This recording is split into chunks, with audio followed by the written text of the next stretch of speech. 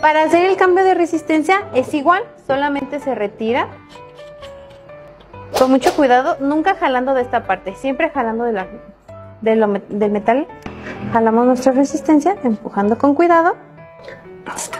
Y colocamos nuestra resistencia de tequilero.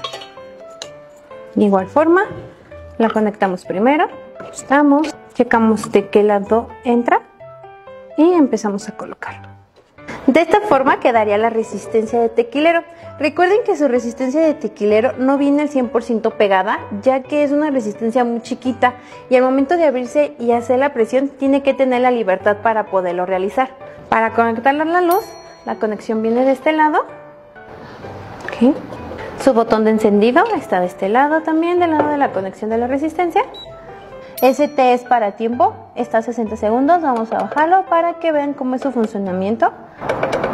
Vamos a dejar unos 10 segundos. Poner un tiempo más, una temperatura más baja para que vean. Como pueden ver ya está sacando humito porque está calentando. Esta no es semiautomática, este al momento de cerrarla hay que ponerle en la flechita para que empiece, en la palomita, perdón, para que empiece a, a descontar el tiempo y corra.